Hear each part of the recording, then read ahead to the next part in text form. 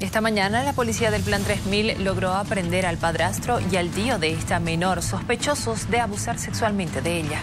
Según las investigaciones que se ha realizado a través de los informes, se puede evidenciar que el abuso lo ha cometido el padrastro y eh, eh, un tío, ¿no? De la niña. La niña prácticamente tiene seis años, está eh, delicada, se está haciendo todo un tratamiento médico, se está haciendo todo un apoyo psicológico y toda la contención necesaria que ella necesite. La madre no, no, no sabía, no tenía conocimiento, es más, nos ha estado acompañando en todas las acciones legales que, tienen, que se tienen que realizar. Recomendarle a todos los padres de que sus hijos deben tener el mayor cuidado y la mayor protección y siempre deben estar bajo el cuidado de ellos, no dejar a sus hijas, a sus hijos con, con personas que ni siquiera con el papá, con la mamá, el alto índice de abuso sexual que tenemos dentro del entorno familiar. Entonces las mamás debemos prever ese tema, tener mucho cuidado dónde dejamos a nuestros niños, con quién dejamos a nuestros niños.